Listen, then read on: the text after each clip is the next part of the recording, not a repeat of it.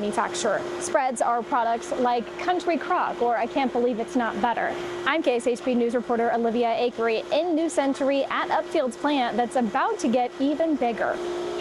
Upfield's New Century plant uses technology and more than 300 employees to efficiently produce 260,000 tons of plant-based butter spreads a year. A partnership between Upfield and CJ Logistics will help them increase that tonnage to 440,000 a year, but decrease their CO2 emissions by 358,000 tons a year. Upfield is the largest plant-based consumer goods company in the world, and we have a strong robust ESG agenda, and we have a significant objectives in lowering our CO2 footprint. The company is building a bridge. That's where the bridge will be built. Between the current plant and the soon-to-be cold storage distribution center. Finished pallets of product would be moved across the bridge to the cold storage center instead of shuttling the product off-site. It's going to be 291,000 square feet, with 100,000 square feet still available for outside customers. The partnership with CJ Logistics and the new distribution center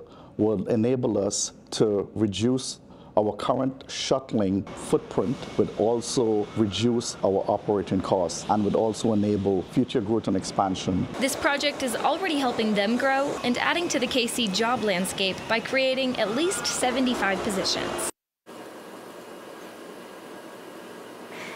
Upfield serves more than 90 countries. That means that there's a lot of households with a spreads product like this in their refrigerator. And if you look closely, it even says churned in Kansas. So kind of fun. But as a plant-based company, Upfield is hoping this project helps them reduce their carbon footprint and add some jobs to the KC economy. Back to you guys. It's so true. I've never looked on the label. No, totally, right? I haven't either. I never now, noticed that. At our house, house it was butter or margarine still, but like at my grandma's house it was like Tuesday's beef stew. You never knew. Leftovers ended up in the country mm. crock for. Hundred percent. You keep all I just had those PTSD of right? all the, the you never know. in my mom's refrigerator right now. Thank Couldn't you, know what's in there. Now we know.